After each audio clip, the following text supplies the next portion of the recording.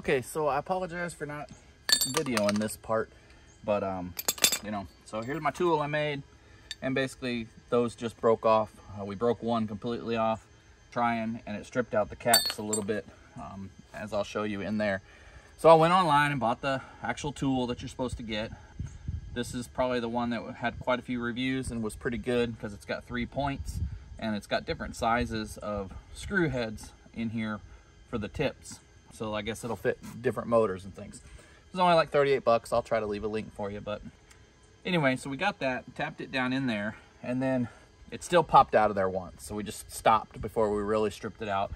Bill went in and looked and um, found this little trick online. Quite a few people have done it this way, so you might have already seen it, but basically you put this over, so you have your trim rod sticking out, and you'll put this over there. Once you get your tool tapped in, put it in there on the three holes, then you put that over the rod, and then you bring your motor down and rest it on here to hold this in the holes so they get the full grab. And then he just, uh, we had a breaker bar, a little bit of a, this one was really hard. He had to really pull on it. Um, this one, he didn't, just a pretty good yank and they broke free. Seemed to work on both of them just perfectly. So if you can't get them off, or maybe even just jump straight to this, that way you don't mess up your heads, uh, the caps, and strip them at all. You know, get that little twisty. Um, it'll still be reusable, and I'm gonna use them, but um, try that. Get those in the holes, put it over your trim rod, bring the motor down on it, and then use a breaker bar and break them free. After that, you can take it off and do them by hand. Let me take you over to the bench and we'll show you how to get these trim tabs out or these uh, seals out. Okay, so with any DIY job, if you haven't done a hundred of these and have everything memorized and whatnot, um, yes, it's very simple. It's just a few seals or whatever, but stay organized. That's the best thing. I don't take this one apart until I've done with one. That way, for some reason, you know, I go in or whatever and have a reference, then I'll always come back and have something to look at. Um, I also just lay my stuff out in order. Um, this is the 115 uh, Yamaha 115 trim, and it's a little bit different than the others. The others, um, the 150 and the 200 and all that, seem to have one uh, one seal that goes in the top, and you just uh, you know make it flush, bottom it out, and then put your clip back in. Uh, this one's a little bit different, a little bit harder because you have this inner seal in there that actually is the the working seal and you gotta I guess just pinch it and finagle it in there somehow so I've had it soaking a little bit just to get it a little bit uh, looser and then I'm not exactly sure how I'm gonna get it in but we're gonna try so uh, you are gonna want to just pinch it in half I guess and get it down in there now first of all I cleaned this one all out got it all off of there and then somehow you got to pinch them in there and put it in, but this is going to be a work in progress. Oh yeah, see you got to pinch it down and out. That's going to be a pain in the butt. But somehow you're going to have to get it hmm, into that groove as you pinch down. You're going to want it to go in there. Well, that's going to be fun. If somebody had a PVC trick for that. Ooh, couple. Well, maybe putting the oil on it wasn't a smart thing. Now it's all slippery. Hmm. Okay, I don't know how to do that. We're to figure it out though. Go do some research. Alright, as you can see, we got the first one on. We'll just let them soak in some oil for a little bit.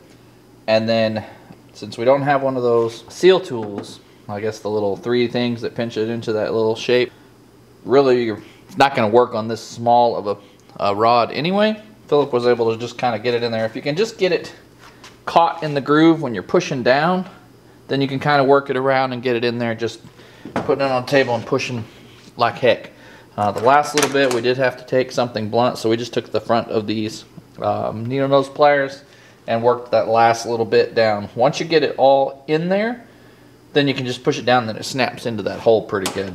Um, it is a little bit of a chore, but uh, I wouldn't, you might try one of those tools if you can find one small enough, but since the, here I'll use the old one here, you know, by the time you pinch it there, in the center and try to fold that kidney shape with one of them tools, it just just don't really work, you know. So uh, they might make one that's small enough, but as with anything, a little bit of elbow grease and you can get it in there. It just takes uh, some time, and like I said, you, you know, we were just working at it and he got it started in the lip. I think he went from the top, actually. We tried from the bottom a couple times and that didn't seem to work. I'm going to try from the top or from the bottom this next time anyway. Uh, because it is, you don't have two lips to work from. It's nice and smooth. So if you can just get it caught first, then you can slide it down on there. Just remember to make sure you got it facing the right direction. Um, but whatever works for you, you know, you can try the top or the bottom and, and just work it in there. But, you know, you got to get one side in that groove first because you know you can get it skinny you know like this and then get it to to work in there. You know you just got to catch it on one one groove there so that you can start working it around. All right I'm gonna clean this one up and do the same thing. All right as you can see see I got it started there and you got it in the lip there and then you can just start working your way down.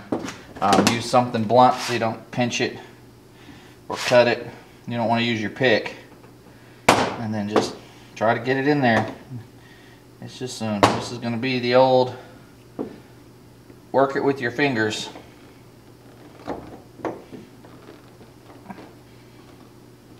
And when you get it past that lip, then you can just push it in the rest of the way. It's going to be right there, see? Where it went in there.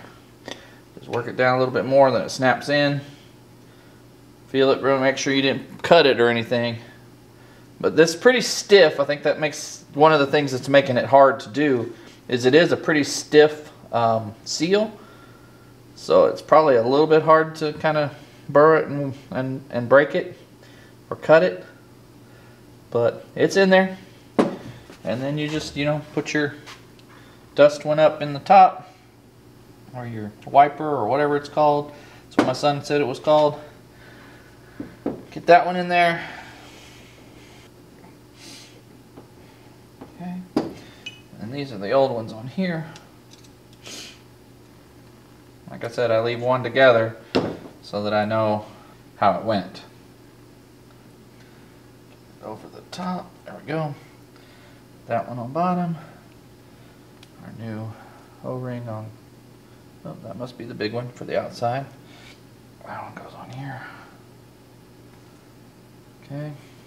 And then this one goes on the outside cap. And then and make sure that's the way they go down.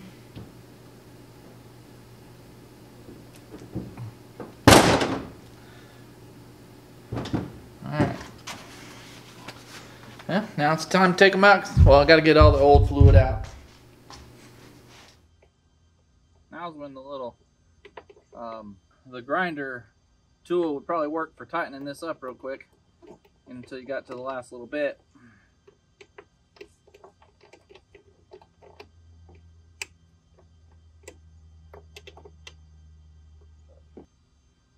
And that one bottomed out. Alright, so once they bottom out, just give them a little snug.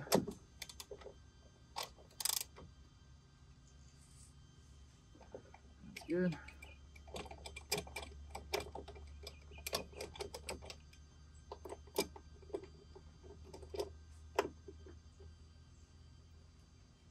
Okay. Now the fun part of bleeding it.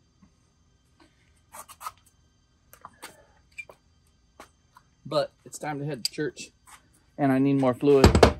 So we'll bleed it tomorrow. So sorry about that. As with everything in life, some things don't go as planned.